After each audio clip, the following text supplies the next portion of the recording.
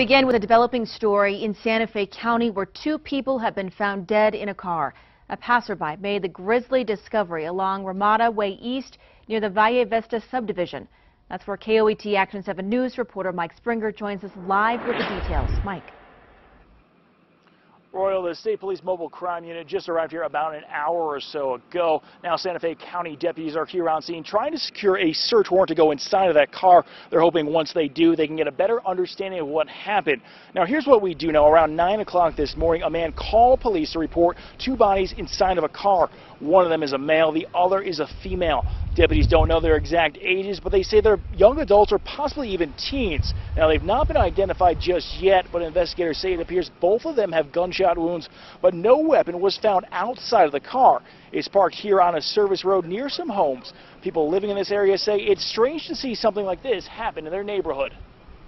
It's a good neighborhood. Uh, been here for 23 years. Never any issues. Neighbors watch out for each other. Deputies have deputies do know who owns the car. They're just trying to figure out if it's one of those people who are inside of it. Reporting in Santa Fe County, Mike Springer, KOAT Action 7 News.